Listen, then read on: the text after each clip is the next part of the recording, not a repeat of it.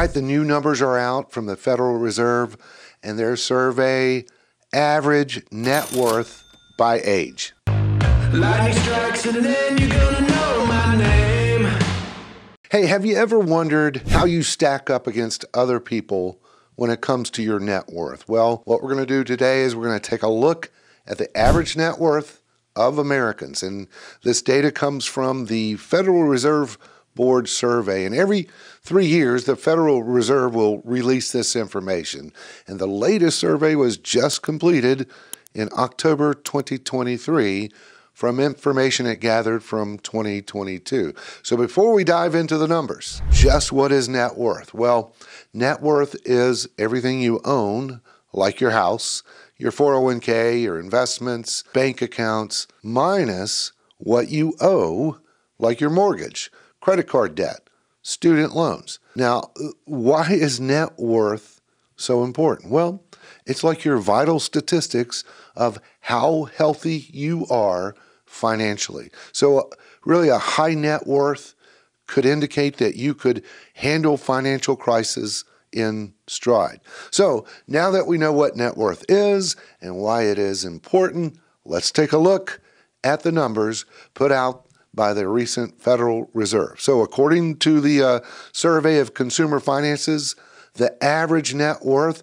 of all families in America is one million $60,000. All right, let's back up. This number represents, first of all, all households, and it's an average or a mean, which which can be skewed by the ultra high net worth people like Elon Musk, Oprah Winfrey, and Warren Buffett, who, hey, they're worth billions and even hundreds of billions. So, a better representation would be to look at the median or the midpoint value of net worth. And when we do that, the number changes dramatically to $192,700 net worth. So again, that's for all families in America. So now let's break it down by age group, looking at the median net worth. So here we go. Uh, for those under age 35, the median net worth reported was a little over $39,000. And what is really interesting here is that that was a big increase in net worth from three years ago, which was around $16,000. So that's more than doubled in three years. All right, looking at the next age group of 35 to 44 year olds. We see the median net worth is $135,300, and really that's been steadily increasing since 2010.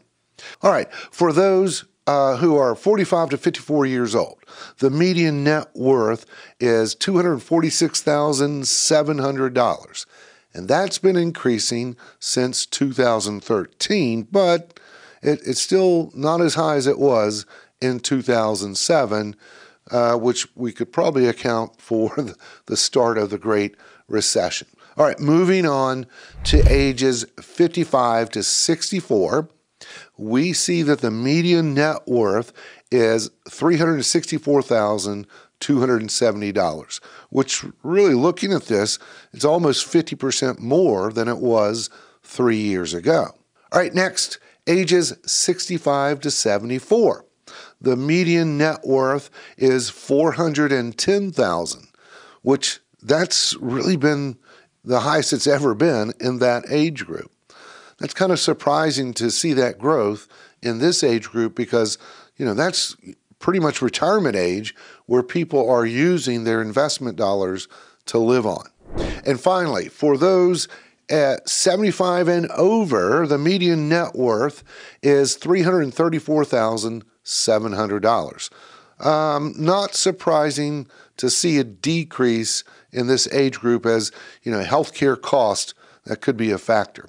So take a look at this chart of all age groups and median net worth to see where you stand compared to the national average. And hey, it's a it's a good idea to keep track of your net worth. This is something I do for my clients when creating their financial plan by what I do, linking their assets and debt in the plan. That way they can see their net worth on a daily basis. Hey, if you feel like you are a little behind on building your net worth, here are a few things to consider. Work on getting debt paid off. Create a debt reduction plan and stick with it. Set up automatic savings plans. And this way, you are essentially paying yourself first instead of saving what is left over at the end of the month. And lastly, just, just be patient and don't get discouraged because the average age someone becomes a millionaire is 49. So it takes time to build your net worth. Hey, I hope this was helpful to you. And if so, please consider subscribing to the channel, giving this video a thumbs up. I would really appreciate it. And I hope you drop by for the next video. Don't know any limitations.